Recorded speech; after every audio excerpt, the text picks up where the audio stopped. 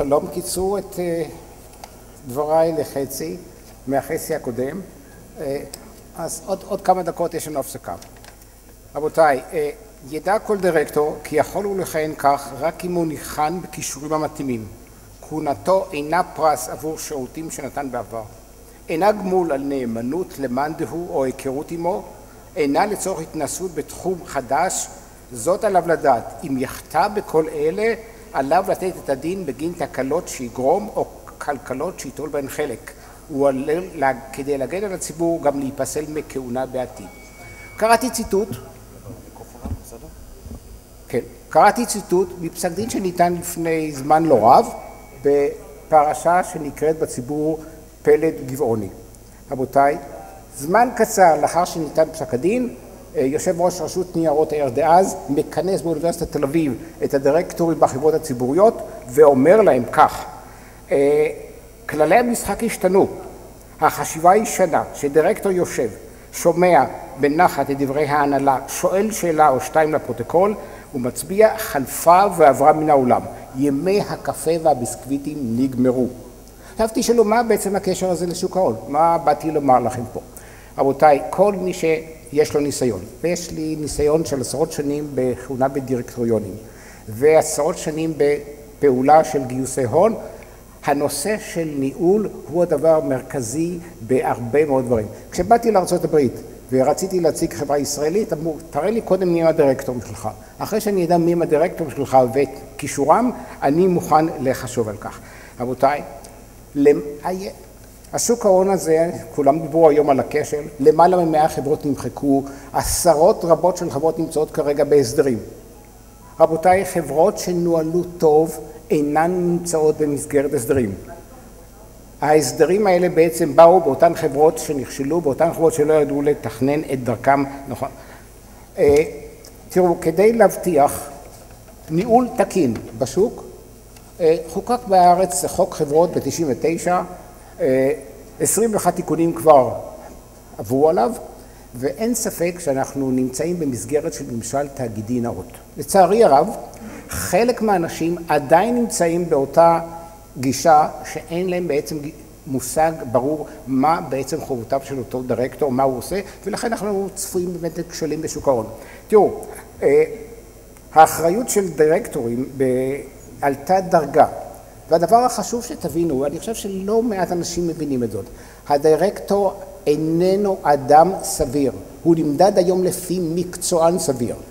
כך קבעו בתי המשפט, כך קבע החוק, והרבה מאוד אנשים אינם מבינים את זאת. אומרים, אני לא יודע, אני לא מבין. אני זוכר כשישבתי דירקטור בחברת חשמל בכמה מקומות, כשהיינו מסבירים מאזן או מנסים להסביר משהו, אז הוא היה מסתכל עליי לצד ואומר, תגיד לי איפה אוחזים, זה כמו בית כנסת, אני לא מבין על מה מדובר.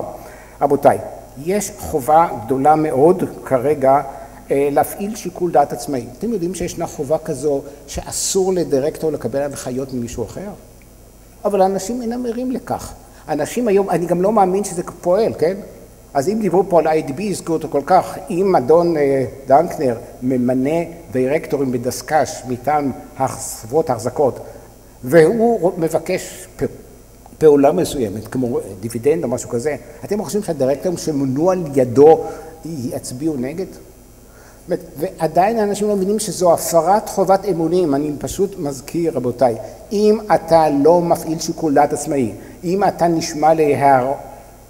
למי שמורה לך, לבעל השליטה, זו הפרת חובת אמונים, הפרת חובת אמונים אין ביטוח ואין שיפוי. עכשיו, כמובן שגם מה שקרה במשק, כשיש לנו הרבה מאוד תביעות נגזרות, הרבה מאוד תביעות ייצוגיות, אין יום שאתה לא פותח את העיתון ואתה רואה שהוגשה תובנה ייצוגית על כל מיני נושאים לפעמים מזערים, אבל הדברים האלה בעצם הם פחד של הרבה מאוד מאוד גופים. בתי המשפט, אם תראו את פסקי הדין, תראו את ההחלטות השונות, מרחיבים את האחריות בצורה מאוד מאוד מאוד רחבה. עכשיו, רק תסתכלו, לפני שבועיים, בשבוע אחד, ראינו את המהפכה שקרתה בטבע, כאשר באו וטענו שהדירקטורים בטבע מתערבים בנושא של הניהול השוטף. ראינו גם מה שקרה בחברת אליהו, כן, במגדל. גם שם התפטרו הרבה מאוד דירקטורים בגלל חוסר הבנה של מערכות שונות שישנן. תראו, אם אתם זוכרים, בבנק, בבנק דיסקונט ברונפמן התערב בעצם יהיה יושב ראש, עד שבאו ואמרו לו, אדוני, אתה לא יודע מה לעשות. בבנק המזרחי תזכרו מה שקרה גם כן. כן, באו ואמר המפקח על הבנקים, אין לכם בעלי שליטה, אתם לא יכולים להתערב ולומר לדירקטורים את מי למנות לוועדות. אז מה בעצם אנחנו עשינו? אני, אנחנו בעצם במודע לכך שאנחנו, שאנשים אינם יודעים את מה שקורה. ואנשים היום חוששים להיות דירקטורים בכמה חברות.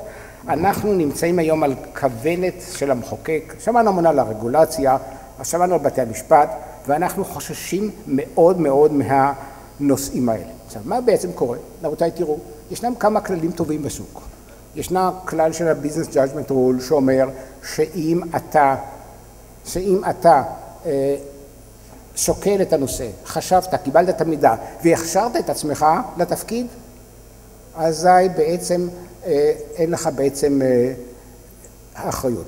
אז בעצם לפני זמן זימנתם ליחדיו מספר גופים שקשורים בעצם בעולם העסקים וביניהם אה, אנשים מאוניברסיטת תל אביב, הקתדרה לממשל תאגידי באוניברסיטת בר אילן, איגוד חברות הציבוריות, שורה של גופים מאוד מאוד רציניים ובעצם החלטנו על הקמת איגוד של דירקטורים בישראל. רבותיי, יש איגודים כאלה בעולם, בארצות הברית, בניו זילנד, באוסטרליה, בהרבה מאוד מקומות, באנגליה, יש לנו כאלה איגודים. פה בארץ, כשאני בא לכנסת בשם לשכת עורכי הדין, אין מי שייצג את, את הדירקטורים. ובקלות רבה מעבירים, זה פשוט לפעמים חמור, מעבירים חוקים שמכבידים יותר ויותר על נושא של חברות ועל נושא של דירקטורים.